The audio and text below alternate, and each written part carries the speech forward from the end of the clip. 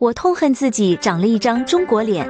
二零一八年，美国华裔女记者上蹿下跳抹黑中国，但在不久后，她最爱的美国却拔掉了她母亲的呼吸机。樊家阳，樊家阳虽然是重庆姑娘，可是父母离婚后就去了美国生活。没想到这个举动改变了她的一生，就连她的价值观也被重塑了。在国内的时候。家人的生活十分贫穷，去了国外时看到了车水马龙、高楼大厦，这让他的心里下了一个决定：以后一定要在这里生活。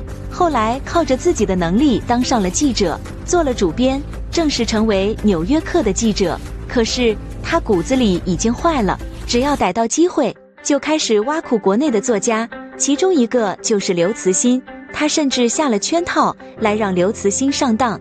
二零一五年八月，我国作家刘慈欣凭借这本书获得了被誉为科幻界诺奖的雨果奖。而在当年的十二月，奥巴马有读过《三体》的第一部《地球往事》。奥巴马早在接受采访时再次提到了这本书，称工作太枯燥，他在闲暇之余爱看小说，尤其大爱科幻小说《三体》。《三体》实在是太有想象力了。十分有趣，故事背景十分宏大。当然，也有可能是因为平时国会和我的工作都是在斤斤计较于一些很小的事情，而不是去担心外星人入侵。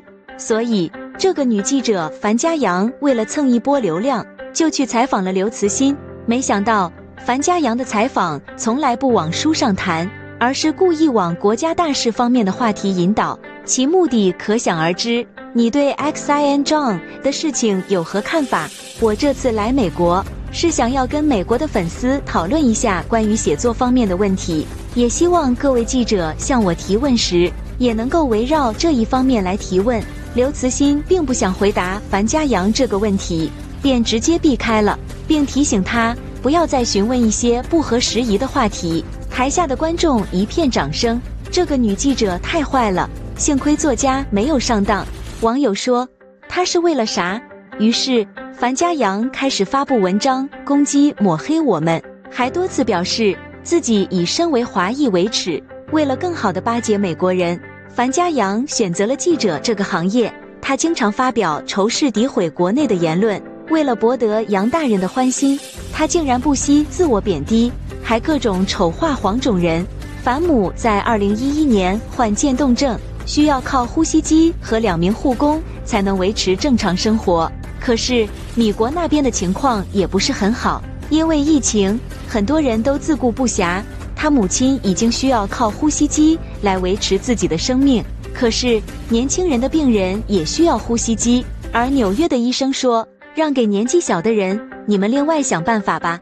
难以自理的樊母被撤掉呼吸机，说法是要提供给更需要的人。请求回家也遭到拒绝，樊母孤苦的在医院痛哭。可是能有什么用呢？在危难的关头，还是被抛弃。无论他多么的巴结，就是不管用，人家还是不领情，最终被赶出医院。他还执迷不悟，也不说纽约医院的不好。后来他就在网上求助，很多华人说：“你这是又何必呢？连呼吸机都用不上，谁让你出去的？真是咎由自取啊！”可是有好心人就给他们捐了一台，是中国的朋友出手相助的，真的是讽刺啊！可是帮助了他的时候，他是不会领情的。母亲放弃一切到美国，传递给他的是美国梦的美好，但现实却很打脸，他不得不在现实中屈服。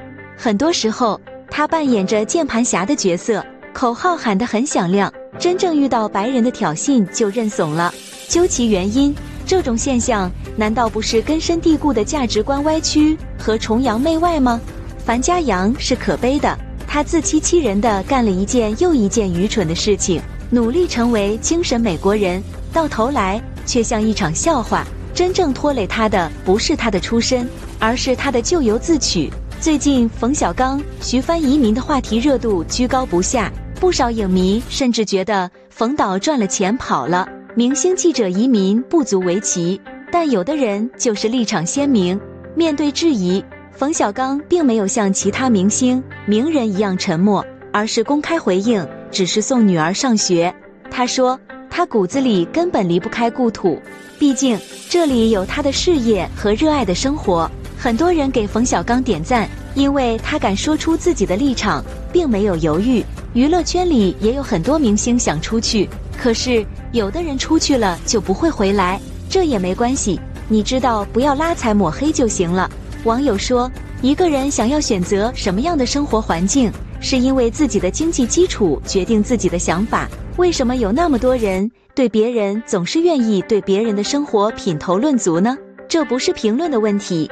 而是立场，樊家阳变成这样，都是价值观坏了。我们也不会欢迎这样的人再回来的。你们认为呢？